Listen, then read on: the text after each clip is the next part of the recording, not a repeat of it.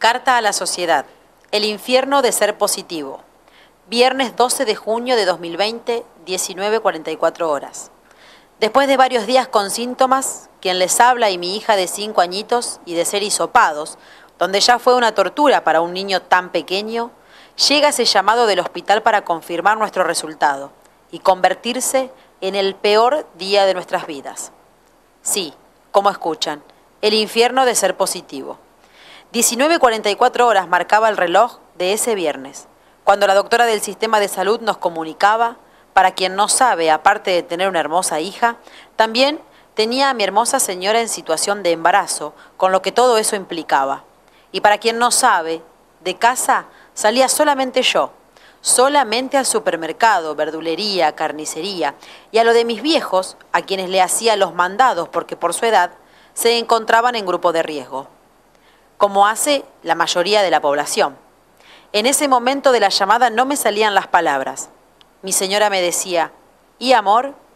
Y después de saludar a la doctora y cortar la llamada nos miramos, le hice un sí con la cabeza a ella y abracé muy fuerte a mi hija. Mi señora estalló en llanto y luego me quebré yo también. Qué momento difícil. Si bien estábamos con síntomas, mi hija y yo, solamente hasta ese momento, pero controlados y leves, lo que más nos influenciaba era nuestra parte psicológica. O sea, ¿cómo se enfrentaba esta enfermedad? Que nadie sabía ni te decía. Lo que yo sí sabía, que debía estar fuerte de ahí, mi hija empezó a no entender nada de por qué mamá y papá de un momento a otro solo lloraban. Así que tratamos de calmarnos por ella, entretenerla. Y luego lloré, durante varias horas, encerrado en nuestra pieza. A todo esto se me sumaba que mis viejos también eran positivos. Yo sabía que no estaba en condiciones de aconsejarlos por mensajes de audio, porque era transmitirle mi tristeza a ellos también. Así que les mandé un mensaje escrito donde tardé muchísimo porque hasta la mano me temblaba y le pedí a mi hermana que se encontraba en Buenos Aires capital desde el mes de marzo que ella sea fuerte y los aconsejes. A partir de ahí empezó nuestra lucha. Mientras por supuesto con la enfermedad a la que a nadie le importa mientras no la poseen, y segundo con toda la información falsa o con mala intención que la gente publica, Igual a nosotros, gracias a Dios, en dos horas con mi señora habíamos recibido más de mil mensajes de apoyo. Fue una increíble cantidad de mensajes, pero la población es mucha. Y por más que todos se ponen sensibles, y es entendible, la enfermedad la teníamos nosotros, y no ellos. Esa noche no comimos, ninguno de los dos. Teníamos un nudo en el estómago, y tampoco dormimos. Lógico, de la misma situación. Eso es bueno, no todo lo contrario. Los problemas psíquicos están comprobados que disminuyen el sistema inmunológico de la persona que debería estar fuerte para afrontar la situación. Pero esto no fue lo peor. Increíble, pero sucedería al otro día. Sábado 13 de junio a las 15 y 10. A menos de 24 horas del resultado positivo, mi señora y yo seguíamos sin creer lo sucedido. Lo que nos seguía internamente era una situación rara, y que nos alentaban por mensajes y llamados de, buena, de buena gente. Y de aquellos que apoyaban y rezaban en silencio. Se hacían las 15 horas, mientras jugábamos con mi hija al juego de las abejas, y de repente nuevamente un llamado del sistema de salud del hospital para comunicarnos que debían aislarlos a mi hija de cinco añitos y a mí, al Hotel Sol de Río, de la esquina del hospital, ex A2. Y mi hija sin su madre, como escuchan en el relato, porque ella debía esperar el resultado, yo quiero ver a todas las que son madres y que opinan en repudio hacia nosotros los infectados, cómo reaccionarían que en tan difícil situación que te arrebataran lo más preciado que traes al mundo de tus manos. Como les contaba al principio, con un bebé en su vientre. Era una leona en ese momento, pero luchando por ser fuerte, por su hija y su llanto desgarrador que no pudo contener. Hizo que todos lloremos y mi hija preguntó por qué llorábamos. Mamá, ¿qué te pasa? Y muy sutilmente a través de una mentira piadosa le dijo, mamá se apretó el dedo. Y ella, siendo tan chiquita, le dijo a su madre, ya va a pasar. Ahí le dijimos que teníamos que salir y que su mamá se quedaba, que ella iba a ir con papá y que iba a poder ver a los abuelos, que tanto los adora y extrañaba. Por lo que relacionó como que íbamos a salir a dar una vuelta, porque ya le habíamos informado días anteriores a que sucediera esto, que íbamos a poder salir a dar una vuelta a la manzana. Así que en su inocencia quiso preparar a su perra para sacarla a pasear. Mi situación, como padre de familia, me desesperaba. No me podía ni preparar el bolso. Dentro de mí, mi cuerpo se desvanecía, ya que a la vez ni nos habían dicho por qué se decidía esto, pero que era una orden. Solo sumaba más tortura por ser enfermo de este virus, ni tampoco cómo era el bolso, qué debíamos armar y qué otras cosas debemos llevar, o por cuánto tiempo era.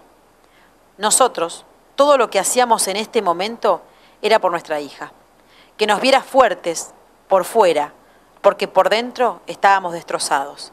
Y poníamos muñecas y distintos juguetes, lápices, libros de tareas enviados por su maestra. Y es aquí que un nuevo infierno comenzaba a partir de ese momento. Ya eran las 16.30 horas cuando nos tocaron el timbre para una familia como la nuestra, siempre unida y en todo sentido, era arrancarnos una parte de nuestro corazón, que a medida que caminaba con mi hija de la mano en el largo pasillo para ir hacia la ambulancia custodiada por un patrullero, porque éramos peligrosos, así nos hacían sentir. Y peligroso es quien roba, mata, viola, golpea a las mujeres, evade impuestos, etcétera. Y ellos sí deben ser condenados y ni siquiera por la sociedad, sino por la justicia. Mi corazón se aceleraba y no paraba de latir, tan fuerte que parecía que se salía.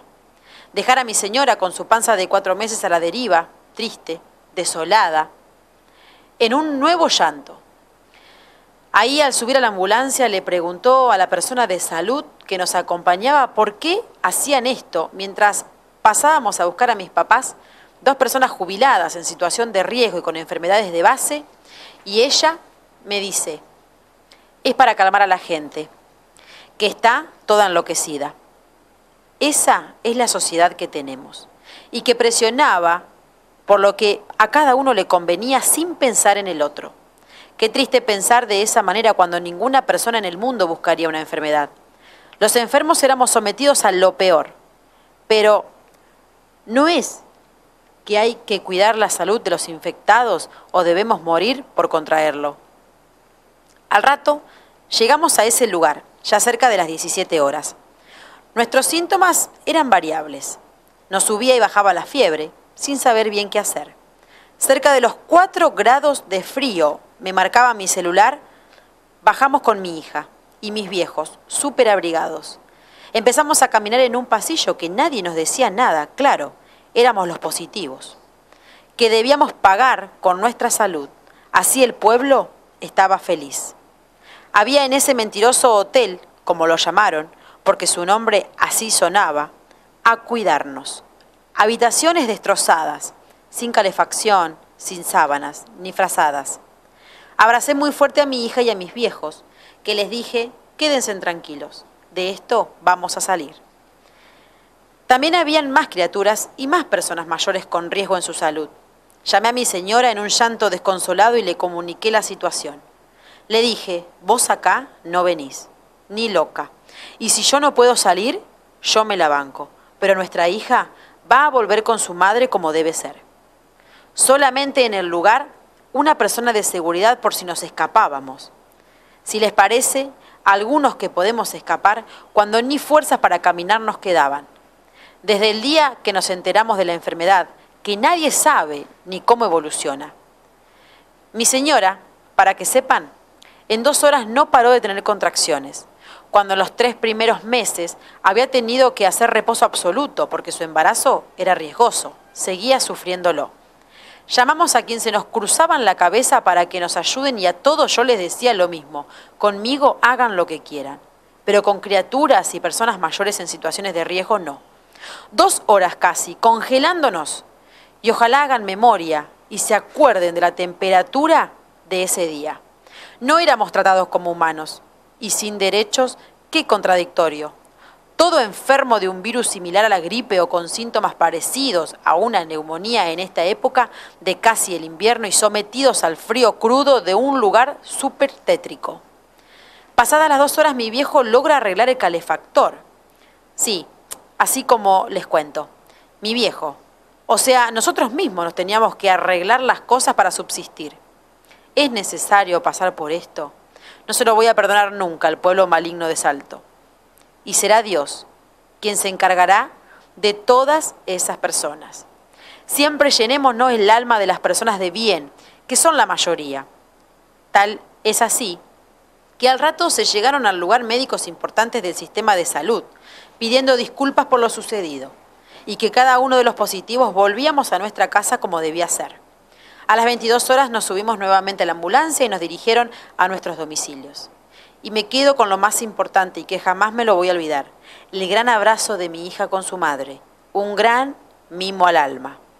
Habíamos vuelto a respirar paz y mi hija Cerró esa noche con su vocecita diciendo, mamita, papito, Martina, que es el nombre que escogió para su futura hermana, y yo, juntos de nuevo.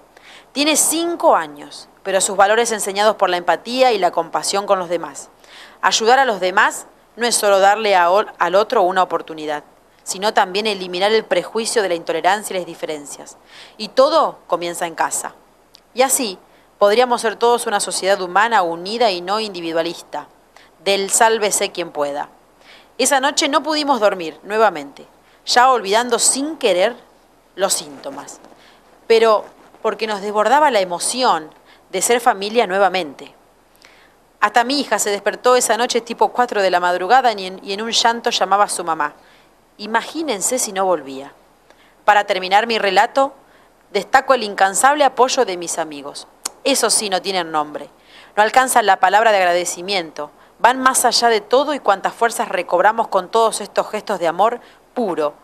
Tan, tal es así, que fueron ellos quienes nos dejaron el día domingo en la puerta de casa, ante un gran gesto de grandeza y amor, unas facturas para pasar la mañana, al cual no las podíamos ni digerir, de tantas sensaciones cruzadas en tan poco tiempo. Para quienes trabajan en algunos medios e informan a la gente a través de un micrófono, pido total cordialidad y respeto por todos en lo que transmiten. La gente está muy mal y si la llenamos de odio, solo generamos violencia con el otro. Quiéranse un poquito más, nadie está librado de este mal que nos azota. Yo era insoportable con los cuidados, tanto en la calle como en la llegada a mi casa después de hacer un mandado o de visitar a mis viejos, que era lo que hacía para que ellos no salgan. Y sin embargo, toda mi familia está infectada. Rezo todos los días a Dios y a mi gran angelito que se nos fue de muy pequeño, para que todos nosotros los infectados salgamos adelante y que quien se contagie no viva nunca más lo que nosotros vivimos, como también por el resto de la población de nuestro querido Salto. No tengan miedo. El miedo paraliza y no deja reflexionar al ser humano. Es un ser pensante y hoy en día solo hay que pensar en seguir cuidándonos a través de lo que se dice diariamente y desde salud nos informan. Barbijos, lavados de manos y distancia social. No quiero dejar de agradecer la incansable labor de todo el personal de salud, médicos, enfermeros, ambulancieros, etcétera, que se exponen día a día y también lloran de impotencia en cada rincón de sus casas, y a nuestros gobernantes, al intendente y a su hijo, Camilo, que no paran para que Salto pase esta situación de la mejor manera. Lo saluda un positivo.